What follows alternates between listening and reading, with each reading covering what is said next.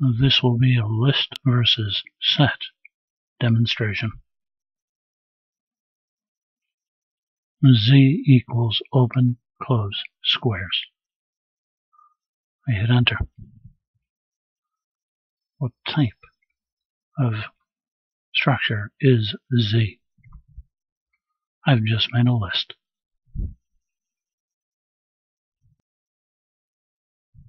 Now, I can two for next loops, two for loops.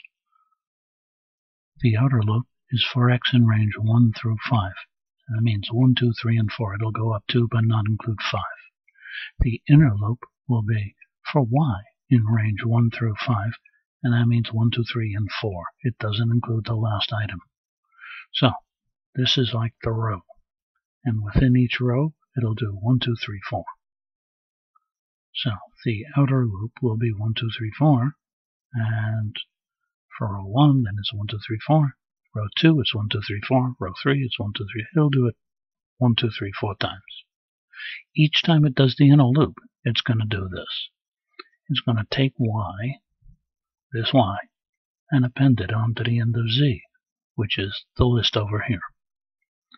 Then when it finishes the inner loop, it jumps down here and it appends x, that particular x, also to z. Wow. Alright, let's see what happens. I'm going to hit enter once, twice, and now we can z, and enter. And I see 1, 2, 3, 4, there's 1. 1, 2, 3, 4, there's 2. 1, 2, 3, 4, there's 3. 1, 2, 3, 4, there's 4. Okie dokie. Alright, let's hit the enter key a few times and get some fighting room.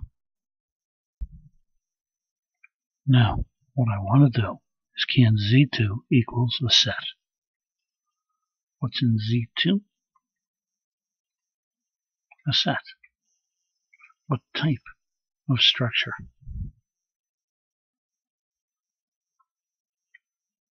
Is Z2. It is of type set. What shall I do with this Z2 structure? The same thing I did with the list.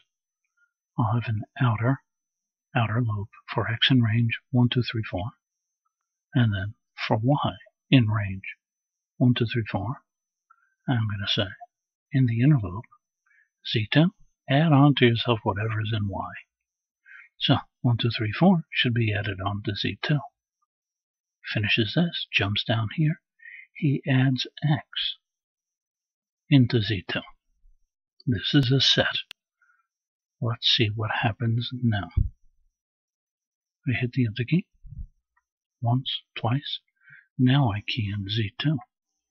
And surprise, surprise, surprise. Sets filter out dupes. No duplicates allowed.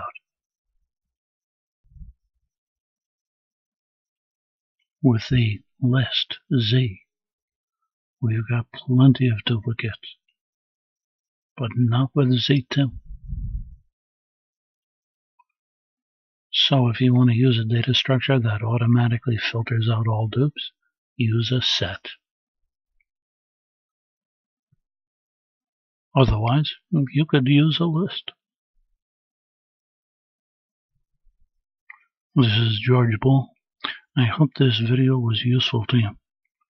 And please rate the video. I'd appreciate that. And good luck.